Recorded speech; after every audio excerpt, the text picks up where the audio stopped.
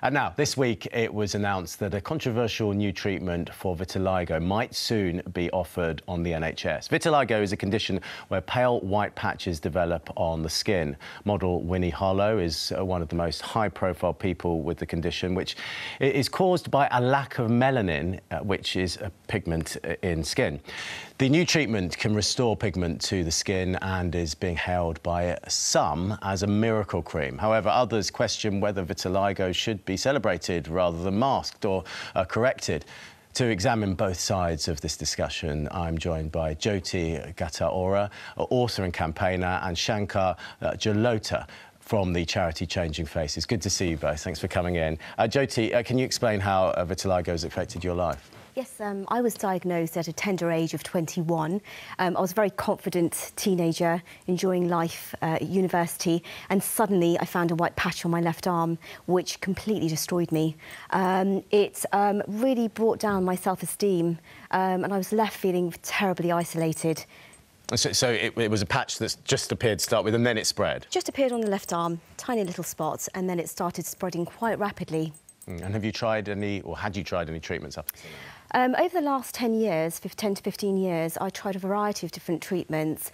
Um, there was there is one um, on offer at the uh, with the NHS, a PUVA treatment, uh, which I tried for a couple of years, um, but that was unsuccessful. Um, I also tried some Chinese and Indian remedies as well, but unfortunately neither of those worked. So, how did it feel, and, and how does it sort of make you feel when you're, you know, at work or in public? Um, you know, you're talking about it affecting your life. Just, just give us a taste of it. Extremely it. difficult. I mean, I covered up my skin for many, many years. I am a teacher, um, so I did cover up my skin with How? my students. How? Um, I, oh, I used to wear cover-up your... makeup. Right. Cover-up makeup used to take, you know, several hours to cover up my skin, um, and it was extremely difficult to sort of carry out that carry out that process on a day-to-day -day basis. Mm. Shankar, does that sound like a familiar story to you? Yes, uh, I think actually it sounds like many familiar vitiligo stories that you hear out there. Um, I got vitiligo at the age of 15 years old, and it started off as a small speck just on my chest and under my eye, and then it fully developed over, over years to come. Um, but how I actually embraced my vitiligo was by pure accident. Um, I, I, like Joti, I wore makeup as well, which is actually, I felt hard enough to wear makeup as a guy at the time, especially not seeing others out there that do wear makeup. But I did, and one day I forgot my, I was staying at a friend's house, I forgot my makeup at home, and I was left with a choice whether to go into work as I was without my makeup with my vitiligo on, on show or to stay at home, call in sick and be like, no, no, it's not for me. But I'm so fortunate and happy to say that that day defined my life. I didn't wear my makeup, I went into work and it completely changed my life. Wow, so so a mistake led to you then exactly that. And being empowered. Mistake. Yeah. It, it, brought me here. It brought me here. And, and so that's a really interesting story. And I mentioned uh, Winnie Harlow, the, the model, who obviously this, that's a really distinctive look that she has because of vitiligo.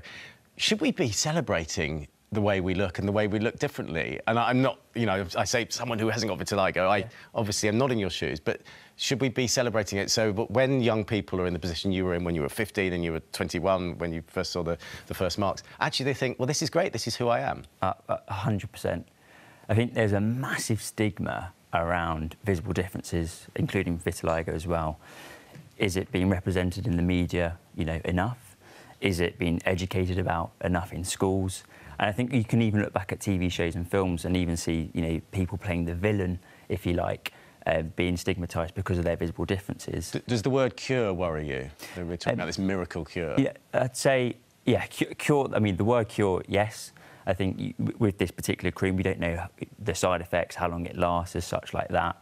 Um, but I think it's all about personal choice. If people find it as a cure for them, maybe a tool to help them be able to actually go outside in the mornings and, and live their life. JT, how, how did it make you feel when you, you heard that this, this cream was available and it, you know, it works? I have to say, I was, I was. But it might be available, actually, yeah. I have to say, I was, I, was, I was, really overwhelmed by hearing this because at age 21, I was soul searching for so many different treatments for something that would be my quick fix. And I think the really important message that I want to share today is that whilst this is in, you know, in process of being approved by the NHS, we have to be very mindful of the fact there are long-term effects um, and side effects with this drug. And, you know, when I was 21, I wanted that quick fix. And there are many people out there who will want that uh, quick fix as well. So it's important to research, speak to your GP. If anyone's considering it, speak to your dermatologist, reach out to the Vitiligo Society and just make sure you make those informed choices. In principle, though, when you were younger, you would have, this would have been I wouldn't have thought change. twice about long-term effects. I was so desperate to, to cure it, I would have gone straight ahead. Uh, so, Shankar, you're happy, you know, that moment, that day when you went into work and you didn't have your makeup and it sort of changed your life. Of course, you're, ha you're happy with having vitiligo. There are many young people who, Mm-hmm. who won't be. Do, you, do you see that th this is actually, this could be a really much needed break for someone who has vitiligo, who's young, who thinks, I, Mm-hmm. I want to use that cream? I think you're right. I think potentially it can be like a game changer. It's about identity. It's about being comfortable in your own skin. And most of all, it's, it's important that people know that there's a, there's a choice now that wasn't there before. I think what's also bringing in the focus, for example, Charity Changing Faces did a study and found that one in five people identify in the UK with having a visible difference. Now, if you think about that from a mental health point of view, I think more could be done around when you first get diagnosed with a visible difference like vitiligo, around the, the support that is needed for those people who are just getting diagnosed with vitiligo to date. Shankar Joti, thank you very much for, Thank for joining us Thanks so much. Morning Live.